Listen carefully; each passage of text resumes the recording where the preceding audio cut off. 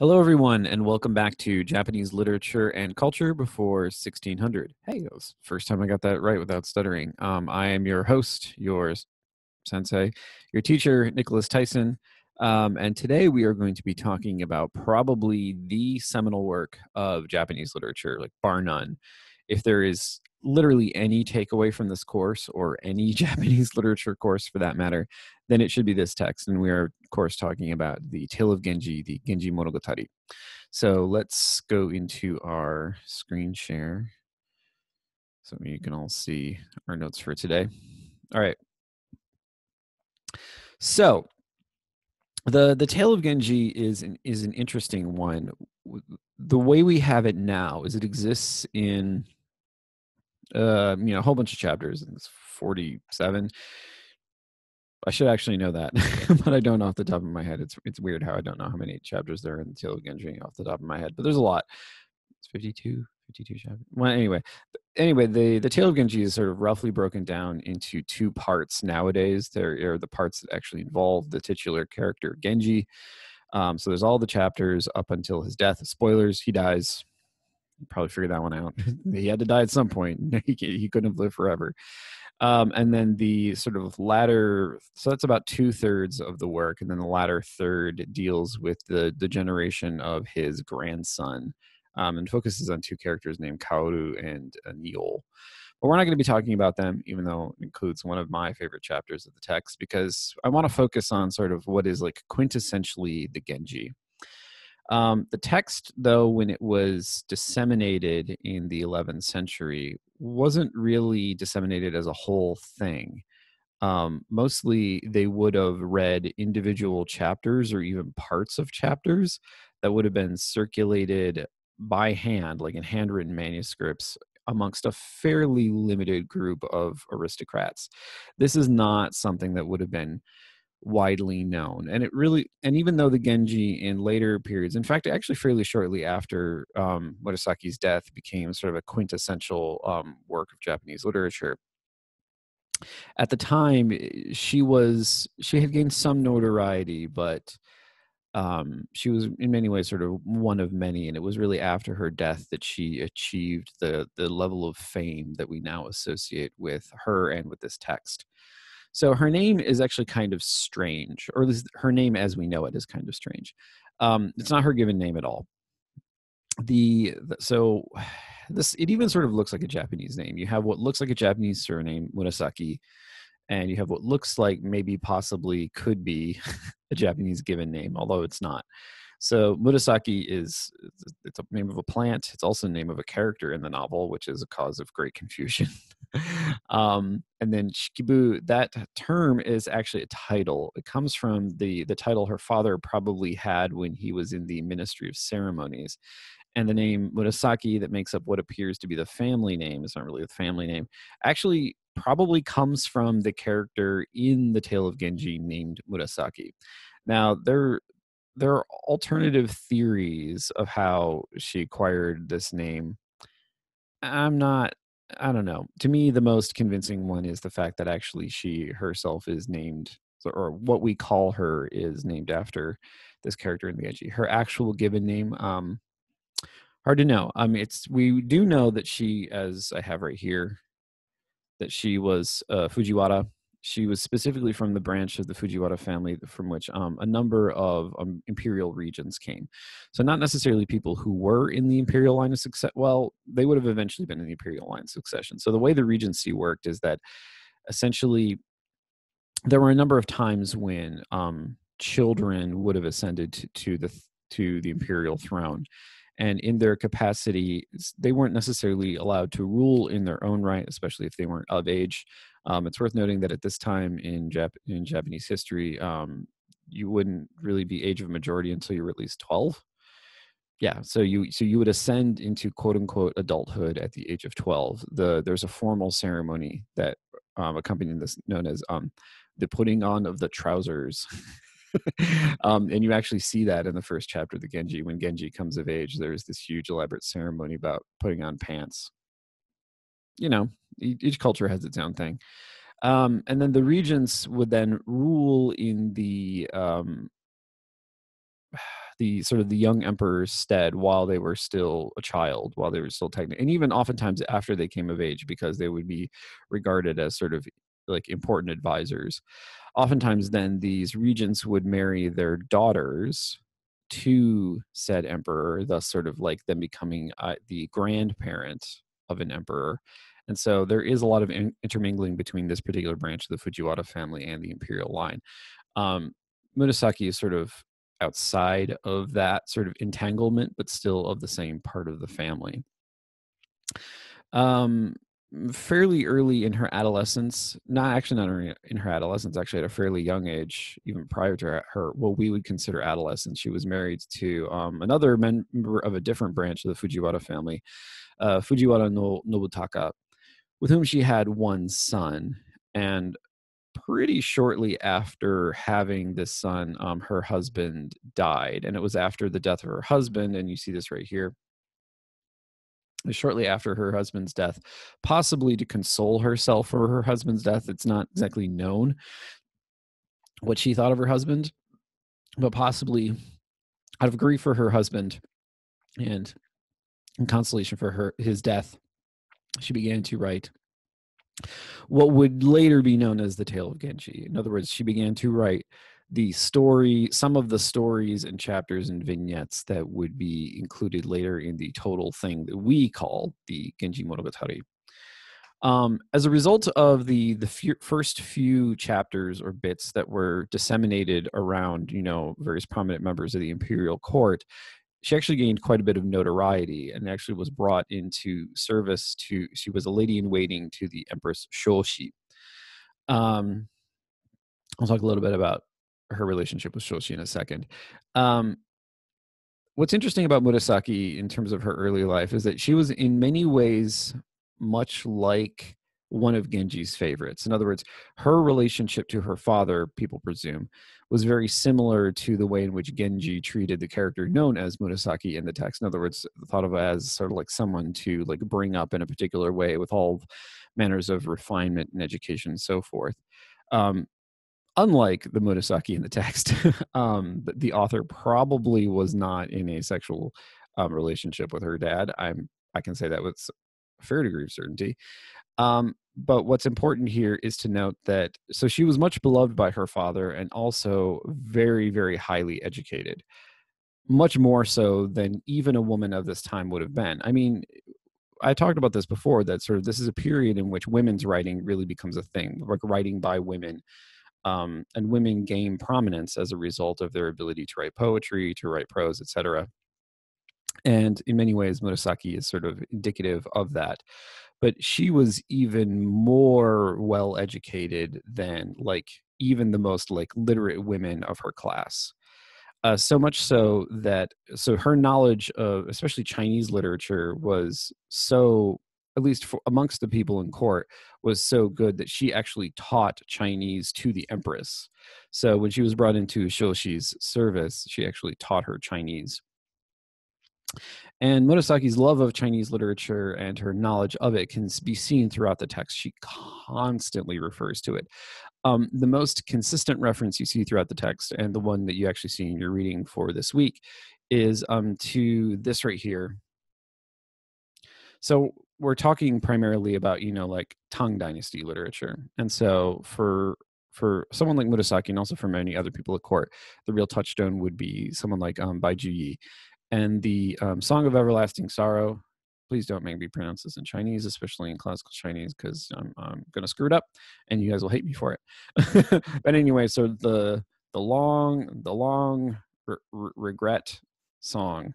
Um, this is usually translated into English as the Song of Everlasting Sorrow, or sometimes as the Song of Everlasting Regret, um, which is a, a, fairly long, like it's like 115 lines, a fairly long narrative poem by Baiji about, which is sort of a fictionalization of the historical story of the relationship between the Emperor Xuanzong, um, who in the poem is only ever referred to as the Han Emperor, um, the Emperor Xuanzong and um, Yang Guifei, who is this sort of you know this beautiful woman that the emperor becomes infatuated with and as a result of his infatuation with this woman um, the country is sort of led into ruin and at least at that po- at that point, was thought to have been responsible for the rebellion of An Lushan, um, which is a city in ancient China. I can't remember what An Lushan is called now. I really don't. Again, Chinese, like I know a little bit about Chinese history and, and, Chinese literature, enough to study Japanese literature, not enough to actually be a scholar of Chinese literature and history myself. Anyway, so but the important point to note is that is sort of the the general like moral of that of that story, which is that the emperor becomes so obsessed with his desires for this beautiful young woman that he sort of abandons his duties and his purpose in the world. As for the the tale of Genji itself, is it in many ways sort of the ultimate monogatari. It culminates all of those sort of various threads that I talked about last week in terms of how prose fiction developed in the Heian period. Um, as I noted, uh, the Genji is regarded as the work of classical Japanese literature and is more representative of a certain like ideology of what Japanese literature is supposed to be than really any other. Um, and it also brings together all those disparate threads that we saw, like say in the Ise Monogatari. So in the Ise Monogatari's sort of obsession with like poetry and sort of the, the prose that explains it, but then also like specifically poems about romantic relationships and their entanglements. Um, you will see elements from the Taketori Monogatari, especially sort of like the more supernatural and fantastical elements that that's in here too. And also we see elements of something like um, the sort of the the daily records, the so-called Nikki. Um, in that, and I wish there were an example of this in your reading for today, but it was just wasn't excerpted. I would have had to like go look for a separate, different chapter myself, and I wasn't going to do that, especially since like the Genji's long, the chapters are long, and I think the excerpts will help you sort of stay on track and, and comprehend what's going on far better than if I had just like plucked out an entire chapter or two wholesale. Anyway, she does make reference throughout the text of about concerning herself as an author and her um, ability to faithfully record what she herself understood. So there is this sense in the text of this isn't just like I mean, everyone would have known that it was fiction because, you know, the people at court reading this would have known that these people never actually existed. But the the text maintains this pretense of being like a historical record. But in the same way that, um, excuse me, that the sort of monogatari were more highly, especially like something like the Taketori monogatari, in fact, is actually referred to in the Genji at one point in a chapter you guys don't read. Um, the reason why monogatari were more highly valued by the people who lived at court than even these sort of accurate historical records was because of the way in which it dealt with the full range of human experience and in many ways that is the, that is the thing that Murasaki picks up from this tradition. It is a very sort of psychologically focused novel. Um, the what that happens in the text can often be pretty boring. There's not a lot of action. It's mostly a lot of sitting around talking or like embarrassing women into having sex with you. But in that way in the fact that we're talking about a leisured class so they're not going to be doing a whole there's not going to be any like grand battles or anything like that but it's definitely going to be focused on their like thoughts their feelings and their their relationships with each other. All right so let's uh so i'm going to divide this up into two videos. So in this first part we have you know the the introduction and then i'm also going to talk about the very first chapter. In the second video for various reasons i will talk about the aoi chapter and i'll get to that you know when that comes up so in this first chapter, um, usually translated as the Paulownia court, Paulownia is a kind of tree. It's a Paulownia tree. Um, that's translation of the Japanese title Kiritsubo. Um, now, what's complicated about this, and this is sort of it's a complication for all of the female char- characters in the text. The the fe- the women characters in the text don't ever have names. They never have given names.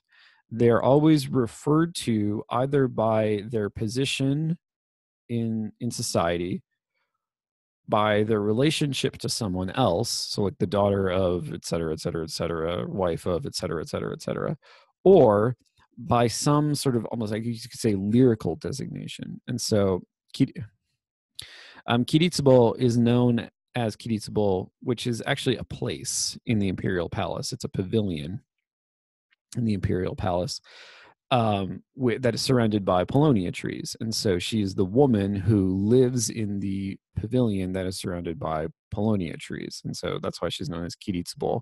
And I will generally refer to her as Kiritsubo. This is Genji's mother.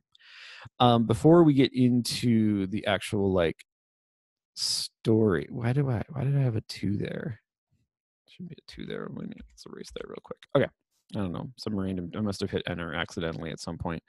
So I want to take a look at the Japanese text for a bit. I realize you guys are not necessarily Japanese speakers, and especially since this is classical Japanese, you're probably going to be, even if you are a Japanese speaker, you're probably going to still be a little lost. So what's interesting about the the Genji, and this is not really well represented in Seidensticker's translation. He he has at the beginning, in a certain reign, there was a lady not of the first rank whom the emperor loved more than any of the others. Um, that's not really how the Genji begins. The Genji actually begins with a question. Um, you can see it right here. Izure no on toki ni ka. So, so this ka here is the same as in modern Japanese. This is what makes it a question.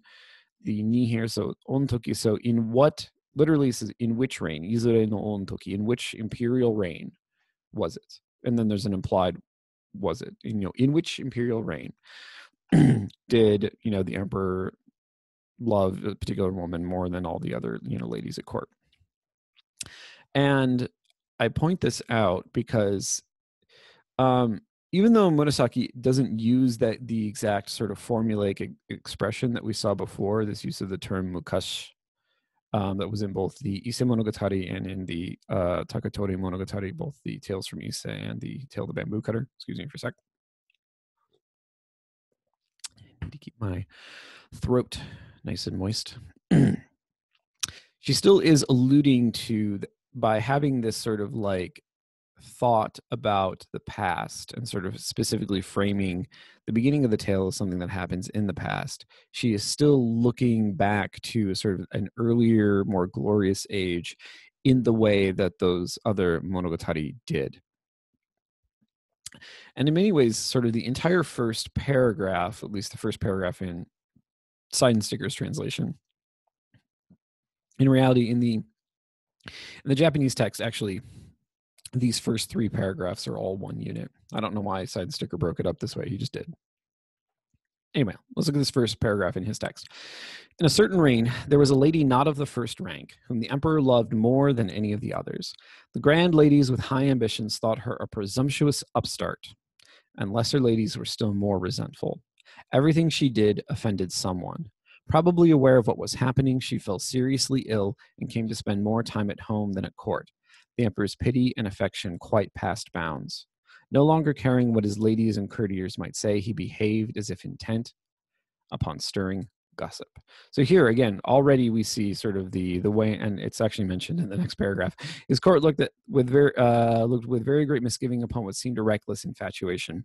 In China, just such an unreasoning passion had been the undoing of an emperor, that's the Emperor Xuanzong, and had spread turmoil throughout the land. As the resentment grew, the example of Yang Guifei was the one most frequently cited against a lady. So here she's being set up as this sort of like beauty that the the emperor becomes obsessed with, and then everything goes to pot as a result that doesn't actually happen in this text. You know, the this there's no rebellion. The nation state doesn't fall apart as a result, but sort of the way in which like one's desires and passions distract you from what you're supposed to be doing with your life, like that aspect of the story is definitely in play here. So, I want to talk about uh, what I think is an important feature of this text and what sort of distinguishes it in many ways from other Japanese contemporaneous Japanese texts and just you know makes it a better you know literary document. Um, this is the way in which like Murasaki uses doubling throughout the text. In other words it's not just that you know there are these allusions to chinese literature. There are these like patterns that keep repeating over and over and again in the text in which sort of like particular like women come to rep- resemble other women. Certain events come to rep- represent other events. You have like this this concept of the the karmic bond. Any, anyway so the i think the first and sort of pro- probably primary doubling is this literary relationship between the tale of genji and Bai Juyi's poem And in fact, the whole opening chapter is in many ways a kind of echo of the first line of Baiju's poem. And I have it here in the Chinese, and I'll, I'll break this down for those of you who don't speak Chinese. So you have the the Han emperor uh, thought a whole lot about his his that literally says color um color here is a euphemism for sexy time essentially. So he thought a whole lot about the like his dalliances and the people who he wanted to be having sexy time with. And there's an imply and ruined the country. So the way i translated this is the han emperor thought so highly of his romances that he brought the nation to ruin.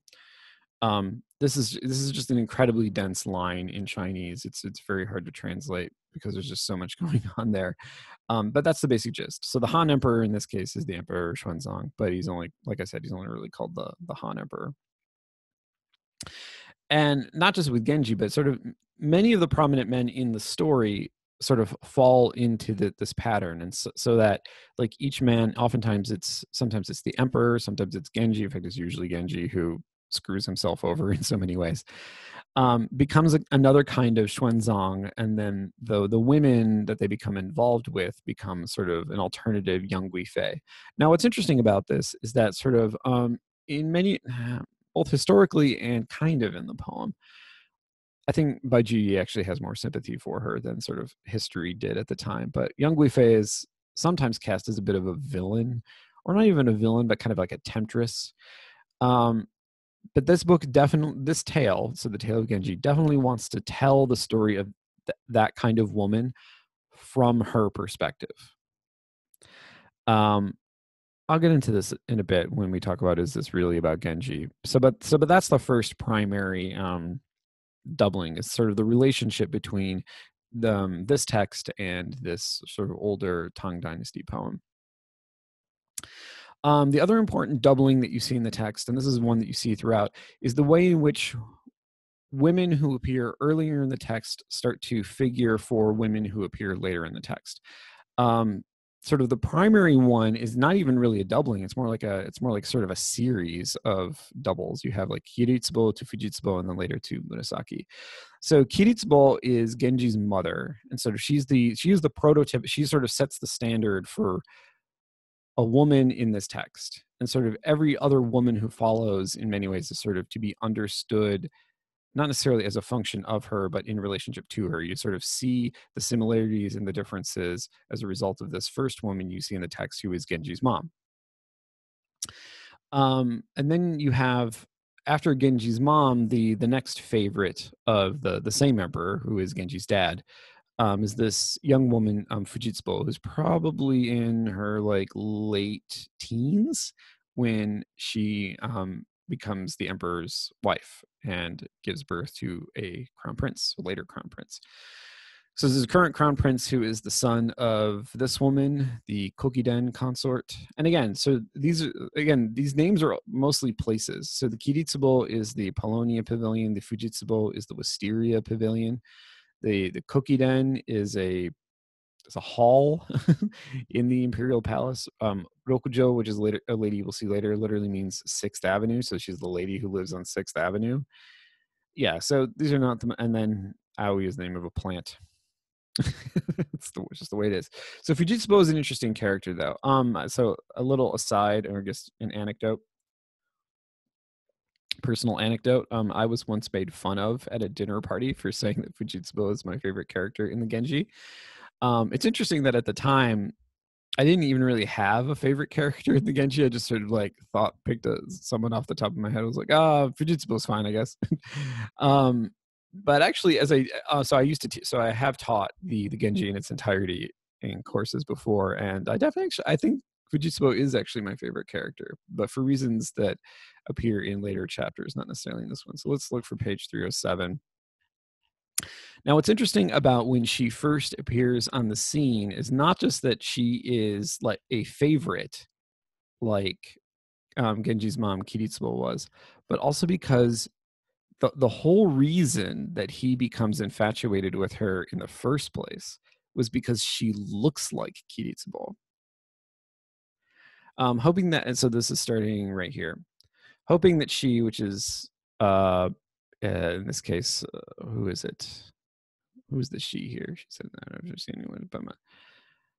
Uh oh, it's one of the other princes. Okay, it's a princess. All right, might be right. Just uh, so someone who's recommending her to the emperor. The emperor asked most courteously to have the princess sent to court. Her mother was reluctant and even fearful. However, one must remember, she said, that the mother of the crown prince was a most wilful lady who had subjected the Kiritsubo lady to open insults and presently sent her into a fatal decline. So we saw this relationship before, where the the Kokiden consort, the mother of the current crown prince, fearing just jealous of this woman, but also I think rightly fearing that her that Kiritsubo's son, which is Genji, would supplant her own son as crown prince because everybody loves Genji. It's like a it's like a golden child. um, so she she rightly fears this and sort of, but then does a lot of shitty things to um, Kiritsubo as a result. And so, yeah, you know, Fujitsubo's mom is afraid and rightly. Before she made up her mind, she followed her husband in death, and the daughter was alone. The emperor renewed his petition. He said that he would treat the girl as one of his own daughters. This whole thing about like women who are treated like daughters but then later become lovers. It's I don't know. I, never know what to make of this. Her attendants and her maternal relatives and her older brother, Prince Hyobu, um, consulted together and concluded that rather than languish at home, she might seek consolation at court, and so she was sent off. She was called Fujitsubo. The resemblance to the dead lady, which is Kiritsubo, was indeed astonishing. Because she was of such high birth, it may have been that people were imagining things, she seemed even more graceful and delicate than the other.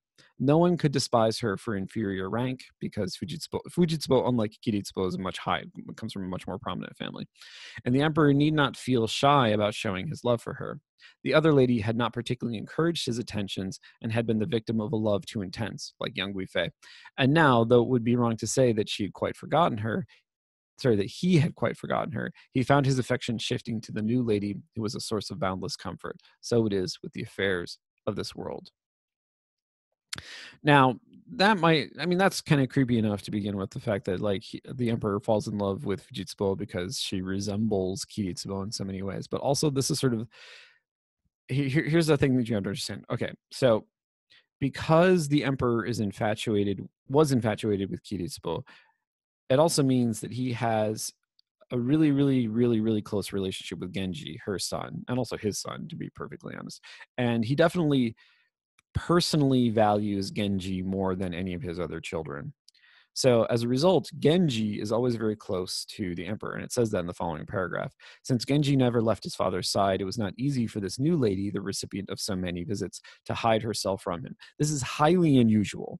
The fact that Genji is around Fujitsubo so much and so often, particularly since she is essentially like, you know, the emperor's new wife, more or less. Like, that's weird. The other ladies were disinclined to think themselves her inferior, and indeed each of them had her own merits. They were all rather past their prime, however, Fujitsubo's beauty was of a younger and fresher sort. Though in her childlike shyness she made an especial effort not to be seen, Genji occasionally caught a glimpse of her face.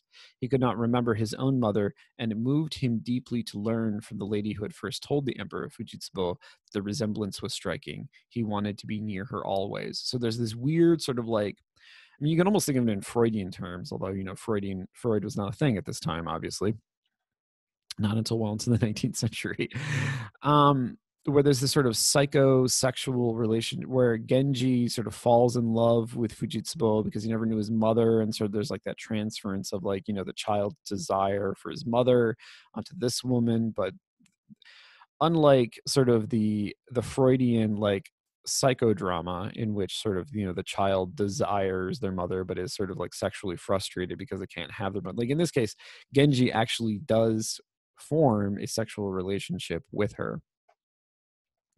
And this is partially the emperor's fault because he actually encourages Fujitsubo, as we see in this paragraph, to be more friendly with him.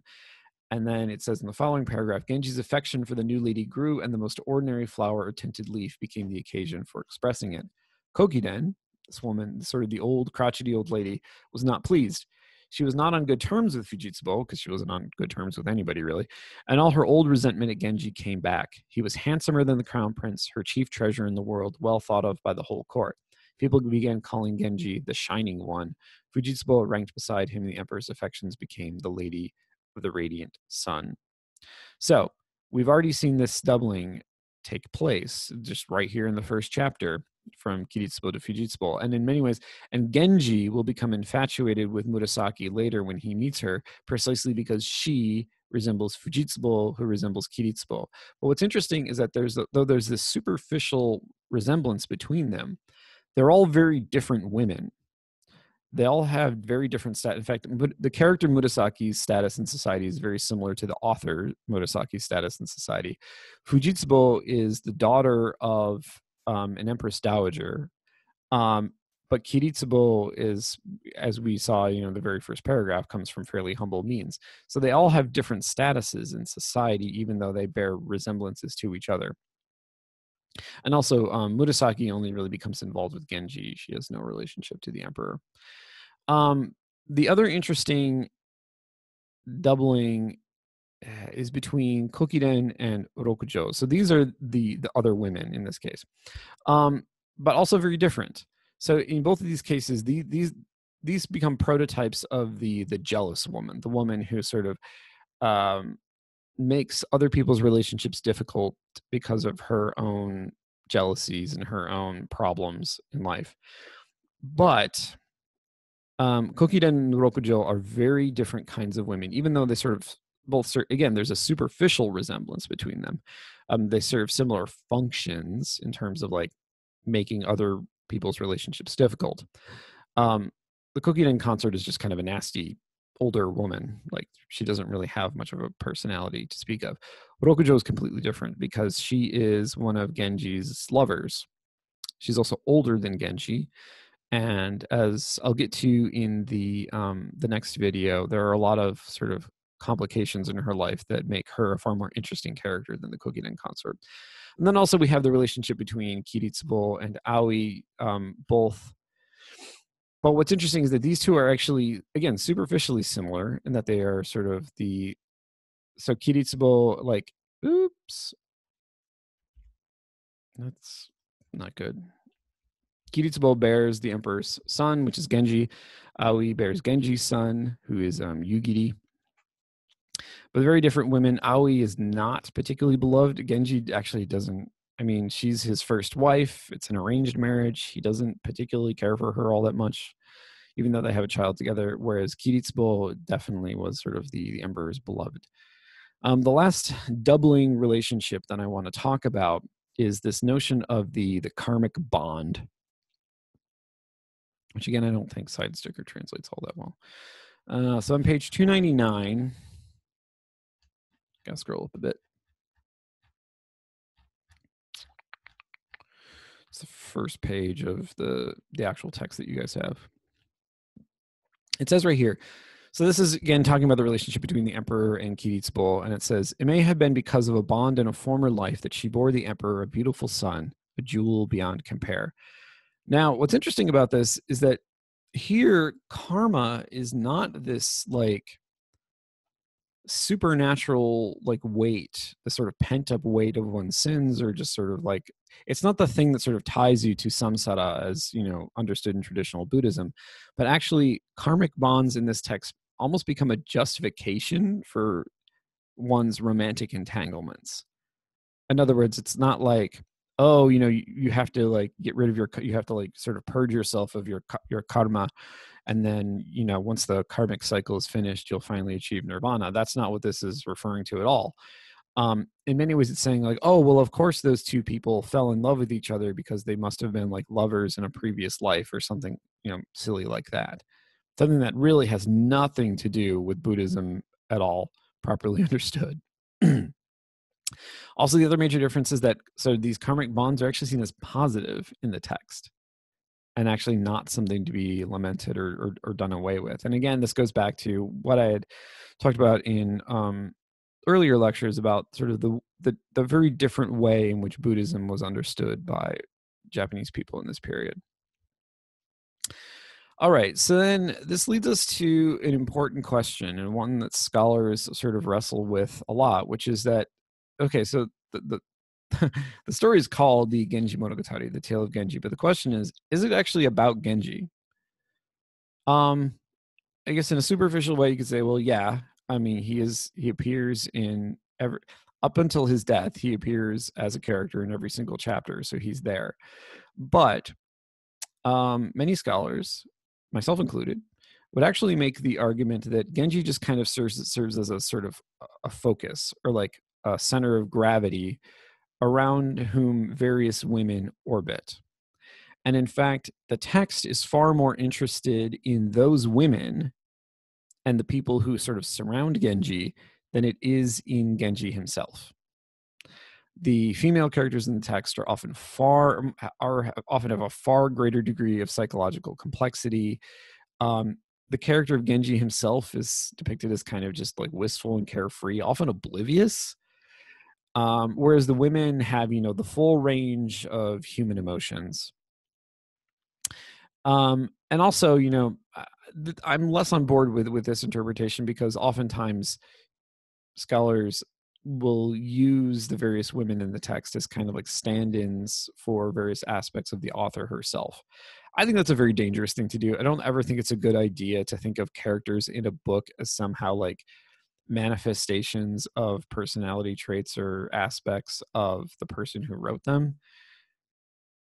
I mean, uh, if you want to engage in that kind of speculation, fine. I just don't find it to be that useful. But yeah, uh, in my personal opinion, and also, like I said, in the opinion of many others, like Genji pales in comparison as a character to the other, especially female characters in the text. And that as a woman, the, the author, Murasaki, potentially is writing about these other women as a way to kind of like shift the perspective.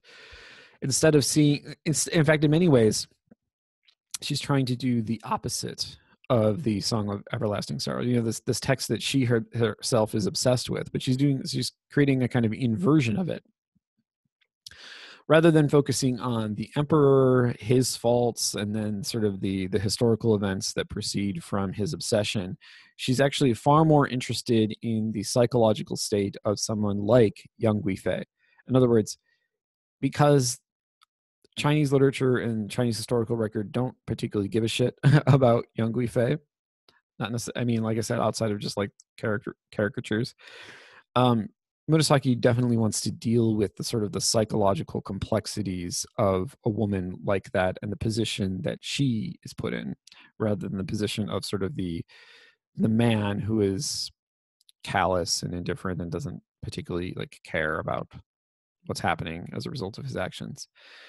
So then, um, lastly, at least for this video, before um, I pause and move on, let's talk about Genji himself. So, get my tea. The character's name is very weird. Um, it literally means so, so the the the G in Genji. In fact, actually, maybe I should type this out so that way, you know, those of you who can read Chinese characters will see what I mean. So that is how his name is written in Japanese. So the the she or G here means something like uh, Mister. Mister. So it's like, and then the the character here. This is um, read Gen in this case, so Genji, but it can also be read as the um, for the the family, the Minamoto clan, which is a clan in which um, like scions of the imperial line who were turned into commoners would be sort of inducted into. It's sort of a artificial family. It's not really sort of. It's not like the Fujiwara where they sort of have historical origins and relations to other clans. This was a made up clan, more or less, in which um, like cast offs from the imperial line were deposited and so his name, in a weird sense, almost kind of means like Mr. Minamoto. Just like I said, it's a weird name. Um, but what's important about this is that Genji is not of the royal line, um, though he is still the son of an emperor. And this sort of relationship, non relationship, is actually the cause of a whole lot of problems later on in the, the story. Um, in addition to that, he's also kind of this, like as I s- said earlier, he's like this golden child. Everybody loves him, and you can see this on page 306, where um, so after his mother dies, he is staying with his his grandparents, the parents of his mother, and the but the emperor wants to bring the boy back to court, and when he comes back to court, even um, the Kokiden consort like melts a little bit. Um, it says he now lived at court. When he was seven, he went through the ceremonial reading of the Chinese classics. Never before had there been so fine a performance. He's the best. He's the smartest. He's the prettiest. He's the tallest. He's just the best. he's the best at everything. Everybody loves him. He's he's fantastic. Which is interesting because despite being the best, being every the, the guy that everybody loves, um, what the this story, the story of Genji, in many ways focuses on his faults. So something to bear in mind. Again, a tremor of apprehension passed over the emperor. Might it be that such a prodigy was not to be long for this world? He's just too special for this world. Quote, no one need be angry with him now that his mother is gone. He took the boy to visit the Cookie Kokiden pavilion, and now, most especially, I hope you will be kind to him. And again, so she, he's brought into the the, the Kokiden hall, the Cookie Kokiden. Admitting the boy to her inner chambers, even Cookie Kokiden was pleased. Not the sternest of warriors or the most unbending of enemies could have held back a smile. Cookie Kokiden was reluctant to let him go. She had two daughters, but neither could compare with him in beauty. The lesser ladies crowded about, not in the least ashamed to show their faces, all eager to amuse him, though aware that he set them off to disadvantage. I need not speak of his accomplishments in the compulsory subjects, the classics, and the like. When it comes to music, his flute and koto made the heavens echo, but to recount all his virtues, I fear would I fear give rise to a suspicion that I just wrote the truth. Oh, actually, oh, I, I kind of looked for this passage and I thought Side left it out. I guess it's, it's tacked on to another paragraph. That's weird. Um, so here we see this this idea, sort of the author is sort of self conscious about the way in which she is representing things, and she wants to present herself as someone who's you know presenting an accurate record of this fictional character. Um, the last thing we want to know about Genji is this this epithet that he acquires, Hikaru Genji. And I note that right here, Shining Genji, and we see this on page 310. Well, actually, it starts on the bottom of 309. The minister selected the handsomest and most accomplished of ladies to wait upon the young pair, that is Genji and his new wife, Aoi, um, who is the daughter of the minister of the left, I believe, if I remember correctly. Sorry, that's off the top of my head. Again, no name. He's just the minister of the left. uh, the young parent planned the sort of diversions that were most likely to interest Genji. At the palace, the emperor assigned him the apartments that had been his mother's and took care that her retinue was not dispersed. Orders were handed down to the offices of repairs and fittings to remodel the house that had belonged to the lady's family. The results were magnificent. The plantings and the artificial hills had always been remarkably tasteful, and the grounds now swarmed with workmen widening the lake. If only, thought Genji, he could have with him the lady he yearned for, which is Fujitsubo. So he marries this woman Aoi, but he's, he's still got the hots for Fujitsubo. The sobriquet, the shining Genji one hears, was bestowed upon him by the Korean. So the Korean here, this is earlier in the chapter. There's this Korean who like reads him his fortune, and says that oh he's going to be he's going to be so superior in everything and apps he's going to be the best um, but all of that will sort of bring nothing but sorrow and and ruin it won't come to a good end and well i mean the korean's kind of wrong but for various reasons um, we're not going to get into anyway so let me turn off my screen share for a second come back to you guys so um, that's it for um, the first chapter we're going to be talking about this week um, I'm going to take a bit of a break, and then afterwards, I will go to the second chapter we'll be talking about for this week, which is Aoi. See you in a bit.